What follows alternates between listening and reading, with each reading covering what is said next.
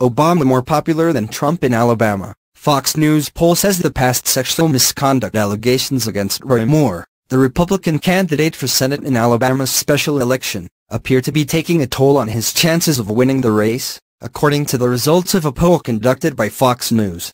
The poll has Moore down nine points from his Democratic opponent, Doug Jones, among registered voters 40% to 49%, and 8 points among likely voters 42% to 50%.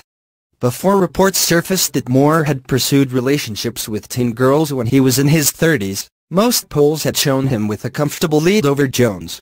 A Fox News poll last month, which showed them in a dead heat at 42%, was one of the only earlier polls not to show Moore in the lead.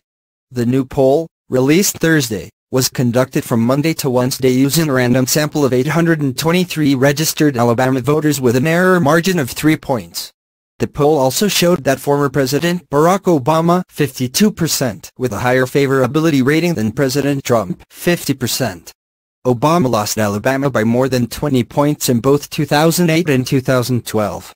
Jones is now leading the race, according to Real Clear Politics polling average on Friday afternoon, but only by 0.2%.